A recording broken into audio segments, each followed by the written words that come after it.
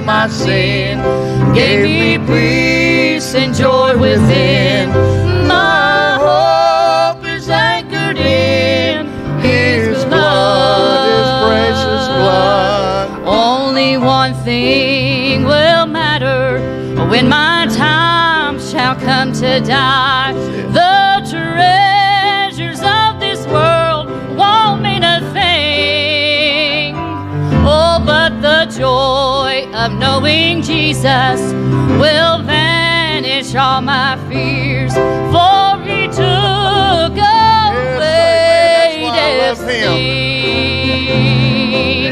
My It's in the blood of the precious Lamb of God. There is no other fountain so No fountain so sweet. He has washed away my sin. He gave me peace and joy within. My hope is anchored in His blood. His precious blood. You know, we've been talking about all during Sunday school all the things that Jesus done for us. Boy, it just touched my heart, Brother Phil. That was so good. You know, we love each other, and I, I just love Him. I love Jesus. But you know why I love Him? It's because He first loved me, because He gave His blood. Right here's what we're singing about.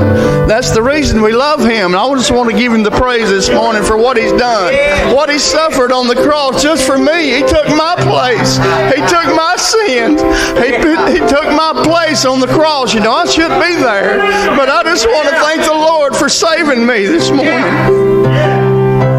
That's the only thing that's going to matter here. Only one thing will matter when my time shall come to die. The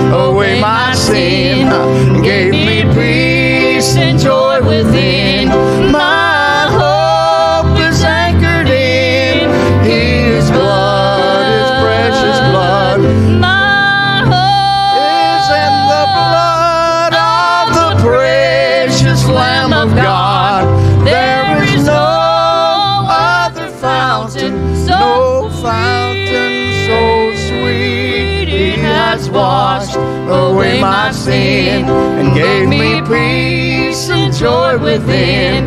My hope is anchored in His blood, His precious blood. Yes, sir. Well, bless his name. He's so good. That's right. And I want you to know he's worthy of our praise.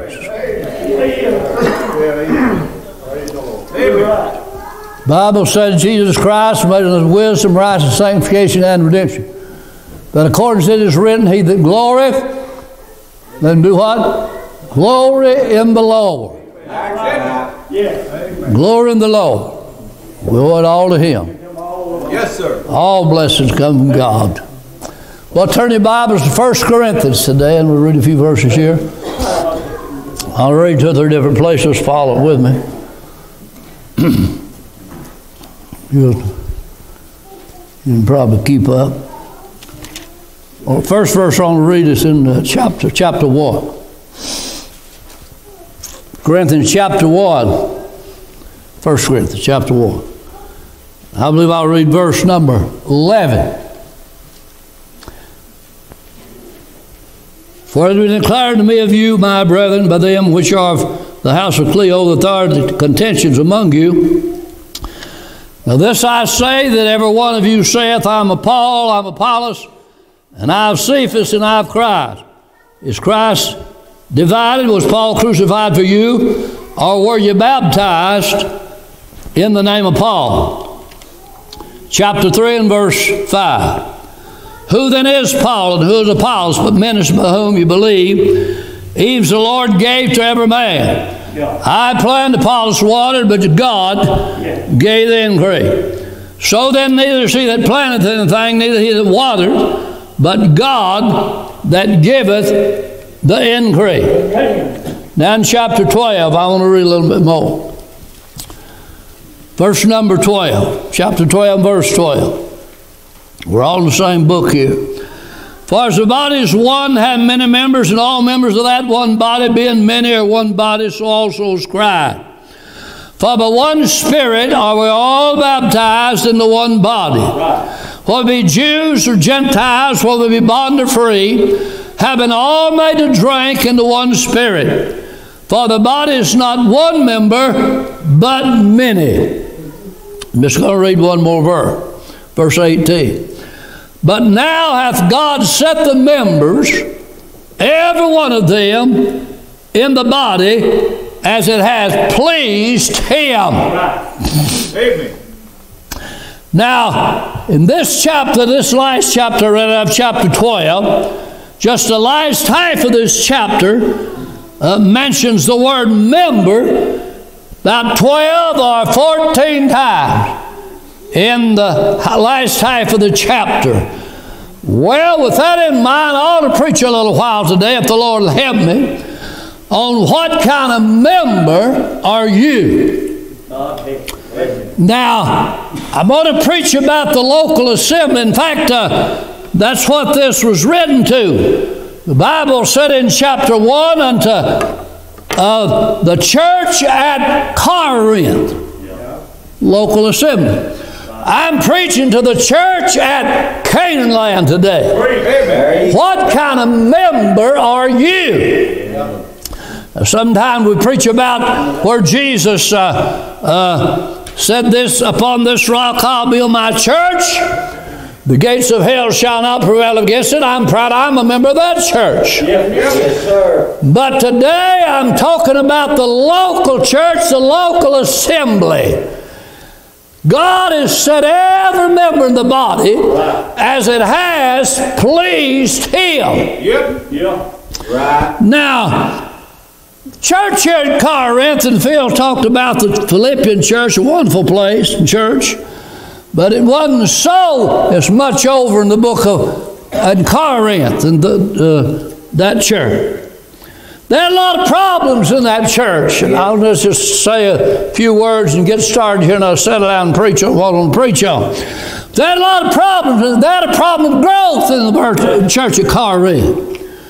But Paul said, I fed you with milk, not with meat. For such is not able to bear. Neither yet now ye. He said, uh, You're in chains and you're still on the milk. And so they had a problem that hadn't grown up.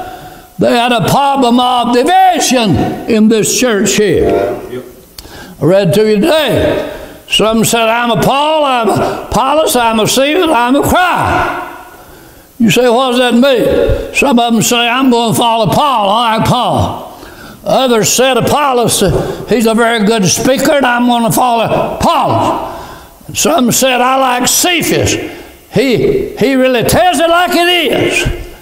And uh, here come that independent and said, uh, I don't even need a preacher. I'm just going to follow Christ. That's what it said over there. I just read it to you a minute ago. And uh, so they're so divided. And then they had a problem of fornication in this church in chapter 5. I mean, fornication in the church. They had a problem with the tongues in chapter 14, and they're mixed up and confused about the tongue move.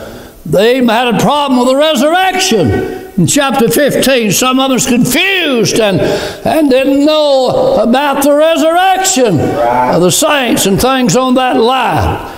So, with this in mind, they did have a lot of problems. And uh, but in chapter one, the Lord uh, said, wrote to them and called them saints. They did have some good ones in that church. Right. He called them saints. Well, that's the way it is today. Got all kinds, and that's what I want to preach about. What kind of member are you? There you go. Amen. Now, because I don't know how to say this, but the, where they're not reading the Bible, they're reading their life. It's very important how we live every day before this old world. In fact, Paul said, uh, I think that Christ has set the apostles, first of all, as a spectacle to the world and to angels and to me. Amen. You want a spectacle? The old timers say, let me borrow your spectacles. Couldn't see good. And borrow their glasses to look through. That's glasses, something you see through. Right. And so he said, uh, the Lord set us out there spectacles, of this old world, and to angels and to me. He said the world's looking on, the angels are looking on, men's looking on, and well, to be careful how we live. Right. Right. Right. Right. Let your light therefore so shine before men that they may see your good works and glorify your Father which is in heaven. The Bible said you're a chosen generation, a royal priesthood, a holy nation, a peculiar people. The Bible said that you may be blameless and harmless, the sons of God without rebuke, in the midst of a crooked and perverse nation.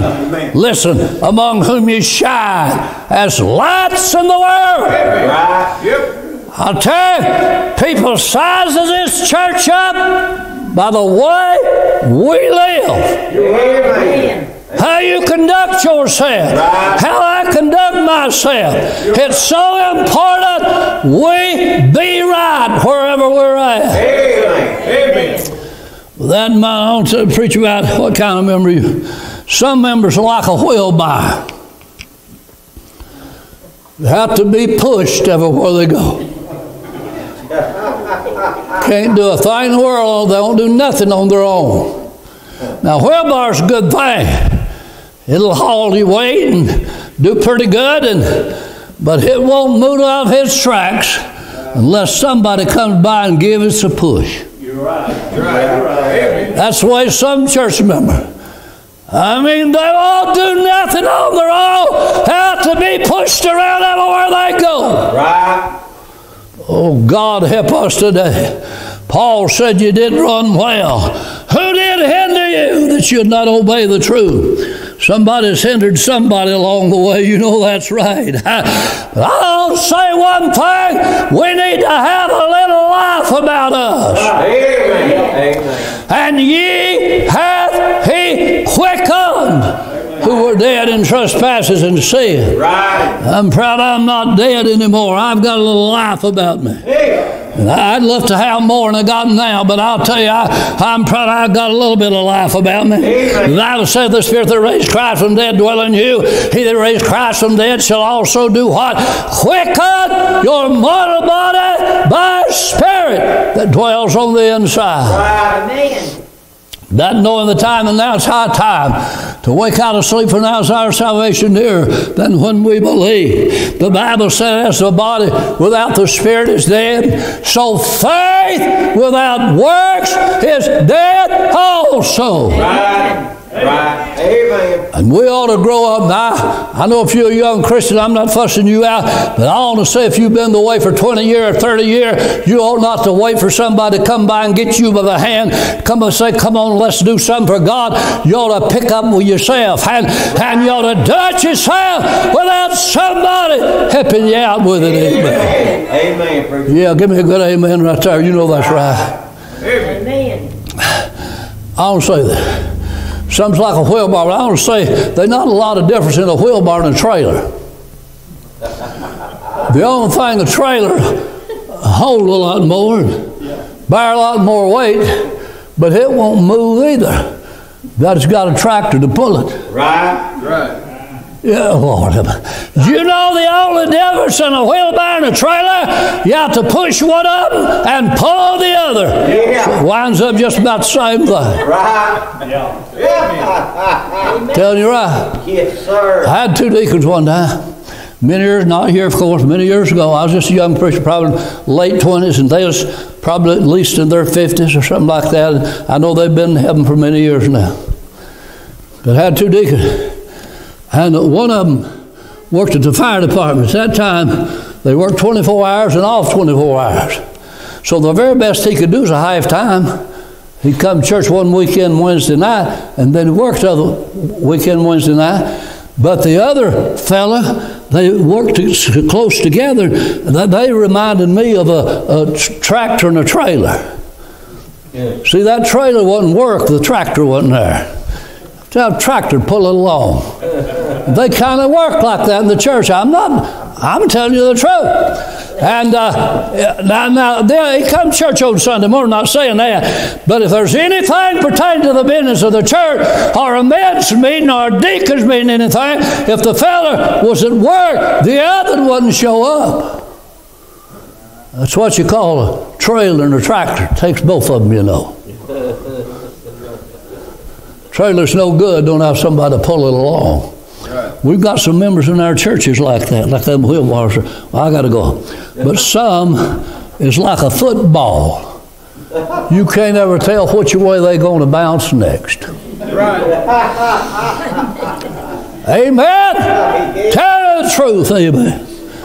You can't ever tell. Today they're Baptists. Going to the Baptist church. Well, they don't get enough excitement. They go join the charismatic. Uh huh. Yeah. Yeah. Excitement gets too much over there. They go join the Methodist. Quiet down a little bit. Come on. Next time you see them, you know what they've done? They decided to go join one of these big churches where there are a lot of activities. Had to have that activity. Yeah. So you just simply don't know which way they're going to bounce next, amen. Right. Hey. Think I've said this before. I believe you ought to be a pig or a possum one. yeah. believe you ought to be what you are every day, wherever you go. You ought to know what you believe, why you believe it. You ought to know where, where you attend church and why you attend church there, and what the church stands for, what the preacher stands for. And you ought to settle down just a little bit. You ought not be like a football bouncing around way. Amen. Amen. Lord God, have mercy on all of them. It's something like that football. You can't ever tell which way they're going to bounce now. That's right. Paul says, Stand fast. Stand fast, therefore, to the liberty wherewith Christ has made us free. Be not entangled again with the yoke of bondage. That you henceforth be no more children tossed to and fro, carried about with every wind of doctrine. Oh, God help us Right. to anchor down, to anchor down in the Bible, the Word of God. And That's right. be like an old football, huh? I'll tell you. The Bible says, wherefore taking you the whole armor. The whole armor. We, we don't need part of the armor. We need the whole armor of God on. We need to put it all on. That's right. Amen. Be steadfast, unmovable, always abound the work of the Lord. For as much as you know that your labor's not in vain in the Lord. Amen. I don't know a lot of things. There are a few things I know. I know I'm saved and called to preach and a few things like that, but there are a few more things I know. I know my labor's not in vain in the Lord. Right. Right. Paul said that. We know that. Right. Amen. Right. Be steadfast. Thank God be unmovable. Don't let this whole world shake you around. Know what you are, where you are, what you believe, where you've been, and where you're going. Amen. Amen. Yes. Amen. Hallelujah. Amen. Amen. So something like that old football. But I'm gonna say something else. We got some like balloon full of wind. And sometimes they blow up. Amen. Hey, but this this part, them balloons is exciting though, you know. See them balloons, you're so excited about it. You can go down the road something and uh, see a bunch of balloons tied on a mailbox or something, you know something's a happening, you know, you know somebody's got a new baby. Are they going to have a shower? Are they going to have a party? Somebody's having a birthday. He gets excited. And uh, when you see them balloons, well, a lot of members gets excited just for a few minutes, you know, not not too long, maybe a day or two. They don't stay excited very long. Come on. Lord have mercy. oh, you say they nobody like that. I wish you was right, but you're not right. The Bible said we know we all have knowledge, but knowledge puffs up. Amen. Amen, preacher. Yeah. That's the reason I know about everybody. I have a pastor had a little knowledge. Some got more than others. But knowledge puffs up. Oh, my. Sometimes them balloons blows up too. Right. Right. Oh, God help us. But I want to say this. If we got that charity not off like it ought to be, it won't be no puffed up. Oh, no, Right, sir. The Bible said charity puffeth not up. Right. Right. Right? That's what the Bible said. Bible said the wisdom from above is first pure, peaceable, gentle, easy being treated, full of good fruit, without partiality and without hypocrisy. That's the kind of wisdom we need today from above. Amen. You're right. We all time blowing up. In fact, the Bible said, uh, Great peace have they that love thy law, and said nothing shall offend them. Nothing shall offend them. Well, better go on. I don't get all this but don't get on down here. Then some's like kites. Y'all keep a tight string on them. Amen. Of blow away if you don't keep a tight string on them. Yes, sir. People wonders why the preacher preaches like he does. I tell you, sometimes you have to preach that way. If you preach it's on things general, they'll pitch it over the shoulder to somebody else. Don't. You just about got to call sin sin. That's just, that's just the way it is. You got to Yes, call. sir. Yes, sir. And so, uh, got to keep a tight string. That's the reason I have to preach. People are drill. People, people drill. I said people are drill. Amen. It's just in us to drill. We don't drift toward God. We have to pray and work our way up there. We drift away from God. You don't have to do anything, drift away. You drift away from God. That's the reason we have to preach. Preacher. Let me tell you this. It ought to be the love of Christ that constrains us to do what we do for the Lord. Amen. You're right. It ought not to really believe just because the preacher preaches, but it ought to be because the love of Christ constrains us to do it. Amen. But sometimes you have to preach against saints. You have to preach against tobacco. Come on. Keep people clean, pure. Sanctified, set apart. Yes, sir. You have to preach against that old rock music. Try to keep the demons out of people. Right. You young folks ever got you young got your car set on that station channel over there? You know where to play rock music? If you have, you'll change it when you get back out to your car. Right. I've said this before, I'm to say it again today. You can take a good boy, girl, teenager, whatever. Don't even have to be a teenager, some younger teenager. And they can be a good Sunday school kid and stay in Sunday school all their life and everything good. You can turn them loose with that rock music for three or four weeks, and they'll turn their nose up at mama and daddy and the church, the Bible, things of God. They'll be rebellious as all get out in three or four weeks. It drives you rebellious. I know what I'm talking about. I'm not guessing, I've saw it. It'll do it. Do it. It'll do it. So you got to stay away from that rock music. If you're going to be a Christian, it's just about the next thing it- impossible to be a Christian. Mess with that rock music. Preach. To preach sometimes on indecent dressing. Yes, sir. Keep the church clean, Right. Amen. Right. looking right. Amen. Right. I ain't got time to preach about that today. I preach about unfaithfulness. Anybody been unfaithful lately? I preach about unfaithfulness sometimes. You just got to keep a tight string about these things, and you got to got to preach about hunting sometimes. You say ain't none of your business. It is too. No, it ain't my business hunting. I don't know about hunting. I don't hunt.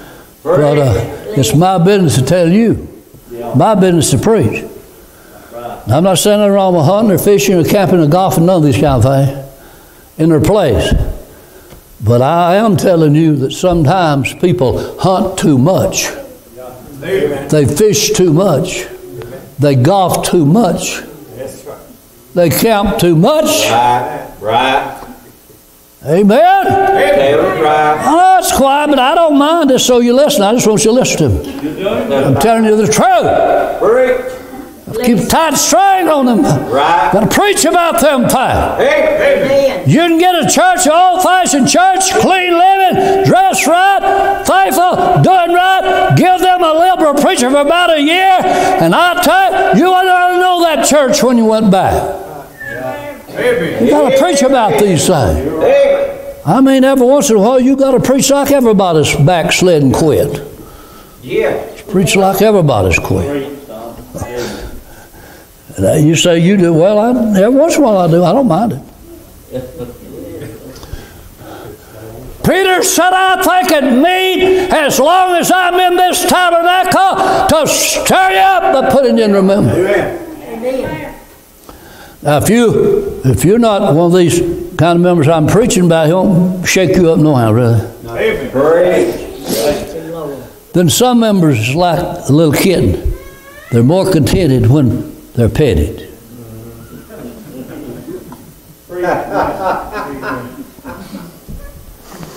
You know, you have to rub the fur the right way. I rub the fur the right way every Sunday. Some of us need to turn the cat around. I'm rubbing the fur the right way. But some people's more contented when you pat them. I wish I had me a bottle. Oh. I, I have had some bottles and pacifiers when I preached down today. Wish I had me one. Sometimes you have to get that bottle and you put in the mouth, you know, you got to pet them a little bit. You get all the milk they want, then you got to stick that pacifier in their jaw. Let them chew on that pacifier a while. If you don't, they don't love you. And they're precious, all that precious, we just couldn't do without them. We can't. We got to try to make everybody happy and please everybody. Lord. Paul said, I fed you with milk, not with meat. You wasn't able to take it. Neither yet now ye, where there's among you envy, strife, and confusion, then you're carnal, Right. and you've not grown up to you. But I like this verse. I'm going to hurry on. Paul said, when I was a child, I thought as a child. And uh, when I was a child, I thought as a child, understood as a child. But when I became a man, he said, I put away them childish things. Yes. Amen. That's what we need in our churches many times today. Right. And we got one of the better churches around. At least I think I want to think it is, and hope it is.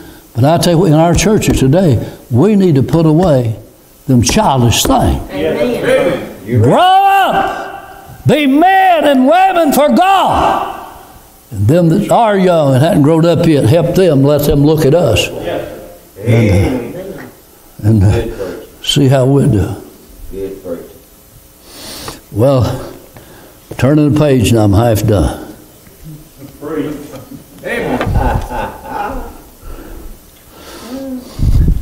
Then I'll say some's like a, a hearth coal fire. Sometimes it's cold, sometimes it's hot. Yeah. We got people like that in our church. Yes, sir. Oh, thing go pretty good, and they're feeling good and everything. I mean, they're on the mountaintop, and you uh, have a testimony, whatever. You don't have to have a testimony meeting. Just, uh, just uh, get silent for about a half a minute, and they'll jump up and testify. They're on fire and they're running. Then a little, little problem come, a little trouble come. They don't feel like praising the Lord no more. That's right. That's right. Just don't have it in them no more. They, they've lost it. Amen. They, sometimes they're hot. Sometimes they're on fire for God. And uh, I'll tell you, if, we, if we're, if we're uh, feeling good or feeling bad, we ought to be a little more consistent in the work of God. Amen. Amen. Paul said in their hardness as a good soldier of Jesus Christ. Yes, sir. We might not feel exactly like it sometime, but praise the Lord anyhow. That's right. Amen. That's right, preacher. Peter wanted to build three tabernacles on the mountain. Most people don't want to build one, but he wanted to build three. Not only that, but he walked on the water to go to Jesus. Not only that, but when they came to arrest Jesus, he had some fight in him. He got his sword out and whacked one of the servants' ears off. And he was, he was, uh, had the fire burning down on the inside. He did. But when they came to arrest Jesus, he cut his ear off. But a little bit later, when they was having that mock trial, and they started getting him in on it, he started denying the Lord. Right. What about us? Don't you think we're kind of that way sometimes? The Lord told him he'd do it. He didn't think he would. But when, when the cock crowed twice, three times, whatever it was, the Lord turned and looked at Peter. He didn't have to say a word to him. He went out and wept better. He repented. He got right with God. Sometimes we're on fire. Sometimes we're cold and indifferent. Sometimes we're ready to pray. Oh Lord, and we'll always be ready to pray. Well, we all need to pray. We all need to pray. I need to pray. I need to pray for you. You need prayer. You need to pray for me. I need prayer. Amen. We all, we all need it. Amen. So we ought to pray without pray without ceasing. Sometimes we sing and we whistling and we enjoying it and we sing in the church and then again just uh, don't feel like it. Lost our song. Did you ever lose your song? Amen. Come on. And uh, go to church sometime. If you're guilty of this, I'm, I'm not picking at nobody. But be honest, I don't know exactly who's in the choir and who wasn't, but I'm just going to tell you this. I'm going to tell you this.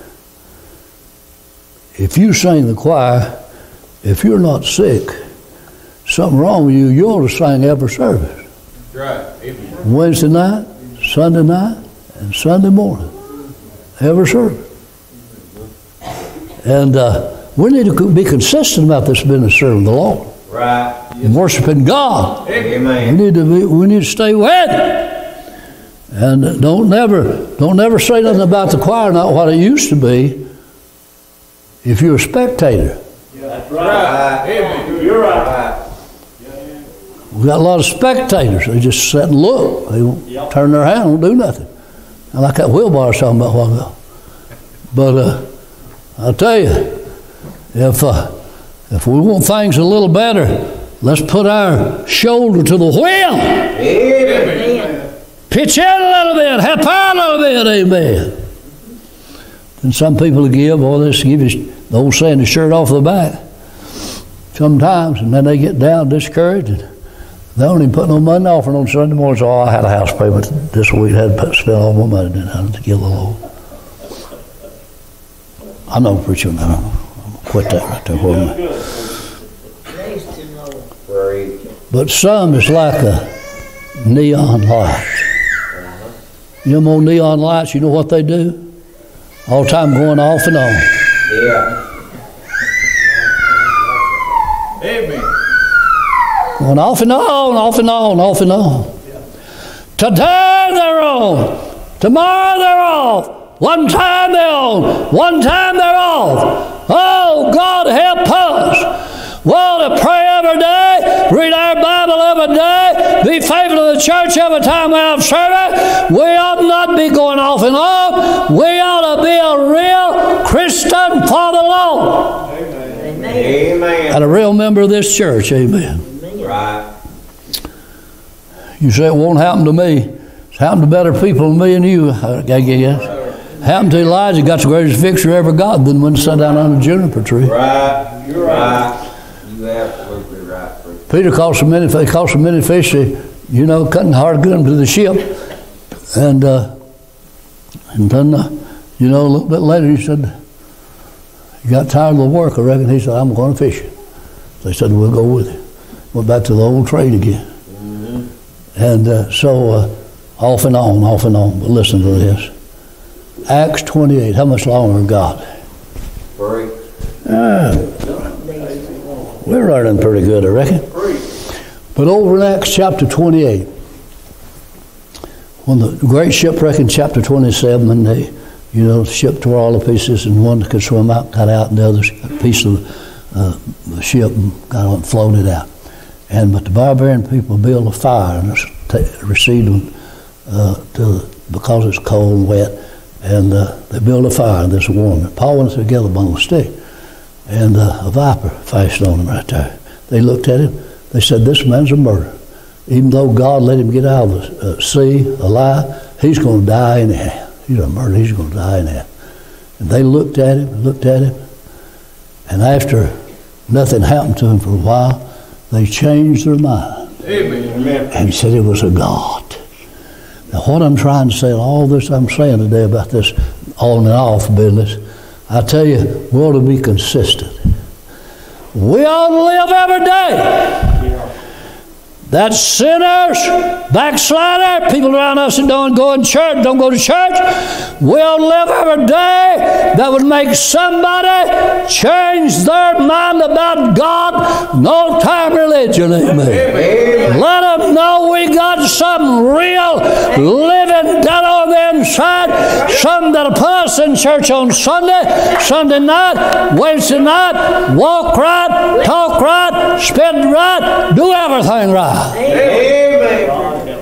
Praise the Lord. Lord have mercy. Good. They changed their mind when they saw what happened to him. Then some's like empty wagons. They rattle all the time.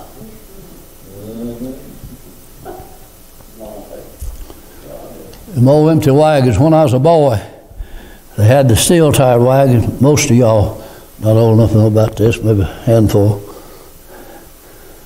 Besides Brother Glass, he knows he knows more about it than I do. But uh steel tired wagons, that's, about all kind of wagon I had. There was probably run up on a rubber tired wagon, hard level. Most of the time it's steel tired wagon. And rocky roads, and mules pulling them wagons. And especially late in the evening, most of the time, as far as that go, you could hear that old empty wagon coming down the road for a full mile, maybe two miles. You could hear it rattling, run over them rocks and the most steel tires, rattle like one thing. But you could put a heavy load of corn or wood, whatever, just anything, a heavy load on that wagon, and about all you would hear is that wheel squeaking a little bit when it turned over. Stopped all of that rattling. Amen. You know what I'm about to say, don't you? Empty wagon rattles a whole lot. But if we'd get our wagons filled up, if we'd get filled up on the good things of God, it'd stop a lot of that rattling and the squeak a little bit when them wheels turn. Yes. Woo, hallelujah. Proud Lord, just let me think of that. I want to tell you, I want to tell you, you won't never learn nothing if you talk all the time. That's right. If anybody tells you something, you won't hear them. Right. You're talking yourself. Amen. Right look. I know. Yeah. Oh, you know somebody does it? No. Oh, he's- Bless you. We have one confession here today. Amen. The Bible says, study to be quiet, to do your own business and work with your own hand. Amen. See, you thought I didn't have no scripture on what I was preaching about this. It's, it's right in this Bible right here. This Bible's right. The tongue's a little member, boasts this great thing. Behold, how great a matter, a little fire kindling. Right. Be careful and bridle that tongue. It's got two more, and it's worth you waiting to hear these last two. No, I'm serious. I preached on some, I guess the word would be bad things. Most people call it bad things. But I got two I want to say something about. Thank God we need these kind. Some's like the sun, S U N, when it goes forth in this mouth. The Bible said, He that loveth the Lord said, uh, Let him be like the sun when he goeth forth with all of his might. We need some good old sunshine Christians in our churches. And I thank God we got a few. Amen. Got a few. Amen. And you know what the sun does? The sun drives away the darkness. It don't matter how stormy it's been, how bad the weather's been, when the sun rises over there, starts coming up, it drives the darkness and storm clouds away. Oh, yeah. Amen. Yes. Sun drives the darkness back. We need some Christians like that. Yep. The sun causes growth. Yes, You sir. can plant anything, pet it, hoe it, and fertilize, do everything you want to to it. Has to have a certain amount of sunshine Yep. to get it to grow right. Hey. Right. Amen. Causes growth. And then the sun furnishes heat. Yes, sir. 73 million miles away. Is that what they say it will do? The sun is. But we'd freeze to death if it wasn't for the sun. That's right. Bless the Lord. And if it wasn't for the sun, few sunshine Christians in our some of our Baptist churches, you'd just about freeze to death. Right. My wife nearly freezes anyhow, but she's you know, she can't help that. She gets cold. Talk about natural. sp- Spiritually speaking, you'd freeze to death. Some of our You're churches right there. didn't have a few sunshine Christians. Yes, sir. You got to. Bless the Lord. Uh, let me say, the sun shines under any conditions. Yes, sir. Well, you say some days I don't see the sunshine. Me too. But I'll tell you where we see it shining not somewhere above them clouds. Sun Sun's shining right on. Hey. Shining right on. Amen. Sun has no respect to person. Shines on the good, the bad. Yeah. Shine on everybody. Wouldn't be good to have a house full like that? Yes, sir. Yes, sir. Yes, sir. Lord have mercy. I, I'm, I'm going to quit with this. Just one more, just a few words about this. Something's like a good watch. Get this right here. Open face, open face, pure gold, quietly busy, and full of good works. Right. I'd like to have a house full like that little watch. Sir. Open face, not trying to hide nothing. Pure gold. What about quietly busy? and full of good works. There's a lot to be done, and we need to be full of them good works. Yes, sir. I know we're saved by grace, but the Bible said we're created in Christ Jesus unto good works which God before ordained, that we should walk in them. Right. I'll stop right there. And uh, I guess you're happy. I hope I've said something to help you. And uh,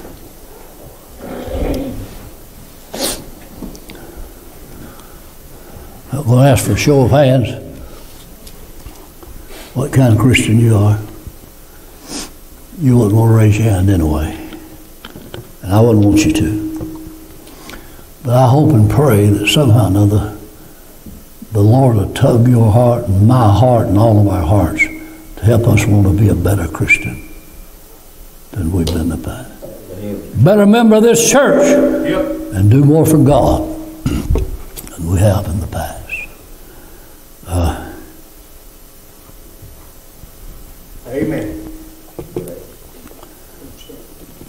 Dear Lord, I thank you for letting us be here today and enjoy the blessing, the fellowship in the house of God.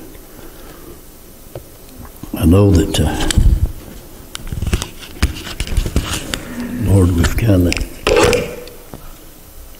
preached a Skinner today, I guess, but I feel like, Lord, you've put this on my heart, and I, I pray you use it for your glory and help us all. God, help us all. Start with me, Lord. Help all of us that we'll so desire in our heart to be a better member of this church, better member of the local assembly, better Christian, better husband, wife, moms and dads, children, all that, everybody. If there's one sinner here today, speak to their heart about salvation. They'll see the need of the Lord, they'd come get saved. Pray you'd bless the service tonight. If you let us live and come back, it'll be a good time of fellowship in the Lord's house tonight and every time we meet. I do thank you again for your presence and meeting with us today.